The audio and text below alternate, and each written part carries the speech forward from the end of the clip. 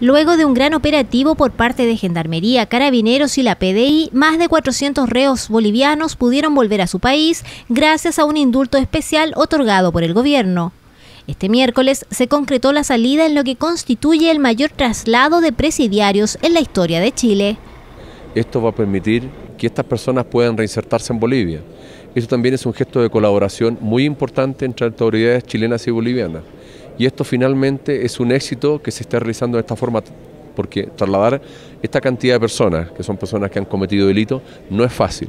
Los ahora expresidiarios llegaron hasta el paso fronterizo integrado de Colchane, donde las policías de ambos países verificaron la relación de identidades para luego ser puestos en territorio boliviano.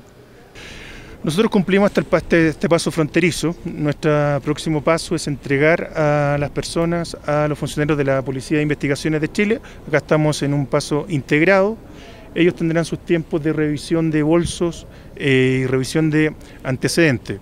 En tanto, autoridades del país altiplánico se hicieron presentes y agradecieron este gesto del Estado de Chile que permitirá comenzar la reinserción de estas mujeres y hombres en Bolivia junto a sus familiares y entorno.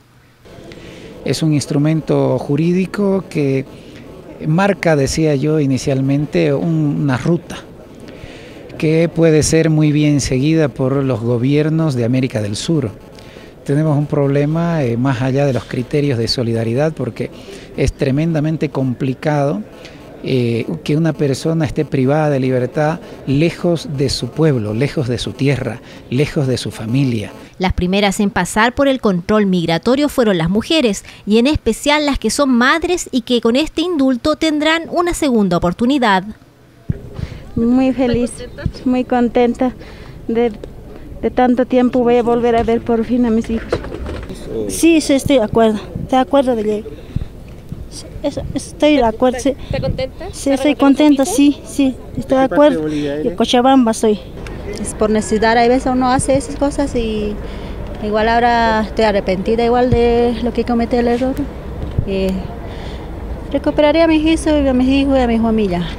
Esta ley especial se dictó por única vez y en total se espera que sean alrededor de 800 personas de 28 nacionalidades las beneficiadas con este indulto.